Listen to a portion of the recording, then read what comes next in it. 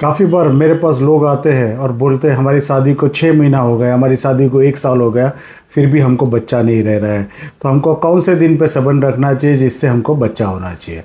मैं हूँ आपका अपना सेक्सोलॉजिस्ट डॉक्टर पारसा अहमदाबाद से।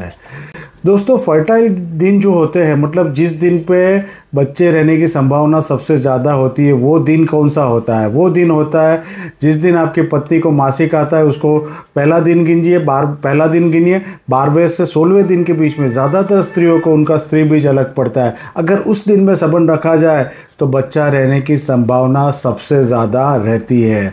बाकी के दिन जो होते हैं रिलेटिवली इन फर्टाइल डे होते हैं। इनफर्टाइल रिलेटिवली क्यों होते हैं? क्योंकि अगर पीरियड्स आगे पीछे होते हैं इरेग्युलर होते हैं तो वो रिलेटिवली इनफर्टाइल होते हैं।